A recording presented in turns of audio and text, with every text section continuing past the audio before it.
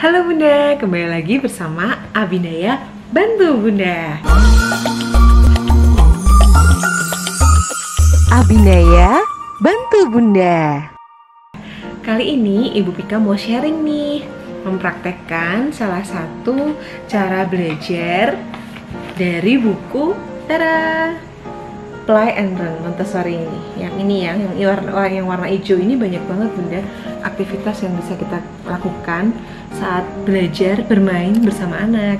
Apalagi saat ini kan kita masih masa pandemi, masih pas online nih. Jadi sangat-sangat membantu deh buku ini. Itu banyak permainan yang bisa kita praktekkan. Nah, salah satunya yaitu di halaman 106, Ibu Pika akan mencoba mempraktekkan kata-kata di sekitar rumah. Salah satu alat peraga edukasi yang bisa digunakan untuk Bunda belajar bermain bersama anak di rumah. Manfaatnya adalah permainan ini membantu anak untuk menambah kosakata. Jadi anak-anak bisa semakin luas nih Bunda kosakatanya. Alat dan bahan yang diperlukan. Yang pertama, kertas HVS warna putih. Kedua, spidol warna merah. Kenapa spidol warna merah ya?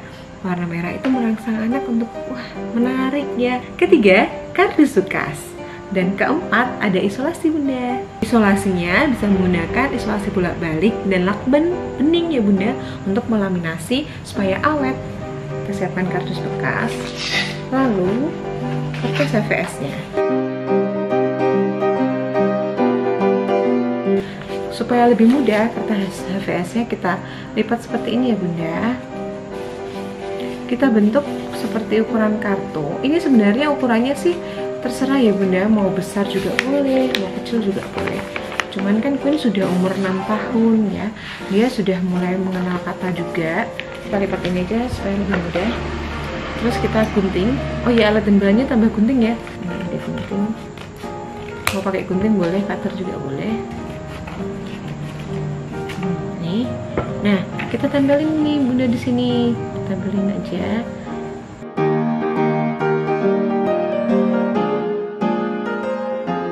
Ya, Ibu Pika menulis yang ada di sekitar rumah ini ya.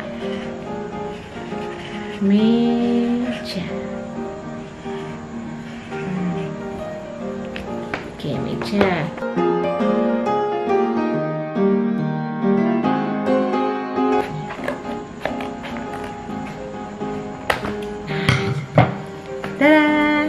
Jadi.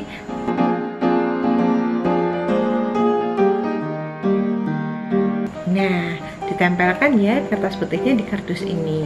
Lalu rekatkan dengan isolasi. Ini seperti ini. Tadi sudah dikasih isolasi.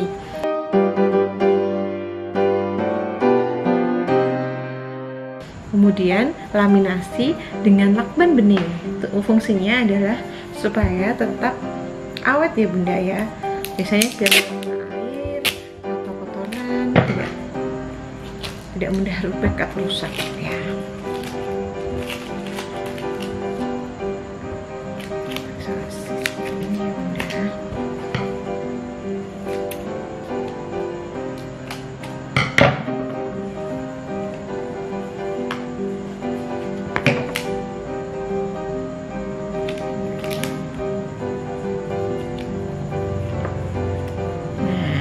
jadi seperti ini kartunya bentuknya ya Ibu Pika juga sudah membuat beberapa yang lain seperti jendela nih kipas angin terus ada kursi pintu nih ada pintu sini juga meja sama meja terus kasur.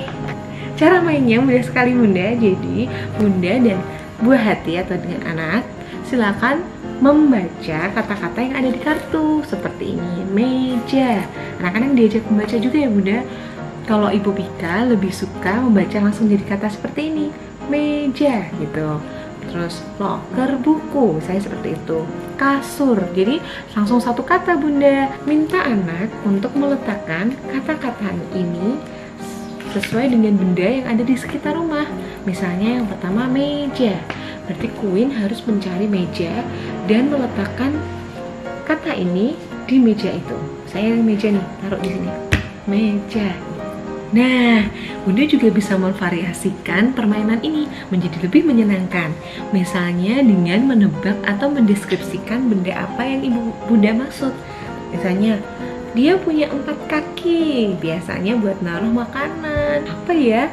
Nah, nanti anak suruh menjawab, meja, misalnya seperti itu. Bunda bisa memvariasikan permainan ini dengan cara Bunda sendiri, dengan bernyanyi, dengan bertebak-tebakan seperti tadi deskripsi ya Bunda. Oke, selamat bermain dan semoga bermanfaat ya Bunda. Selalu ingat untuk subscribe, like, comment, and share ya. Tunggu apa lagi ya nanti dari Ibu Pika. Sampai jumpa.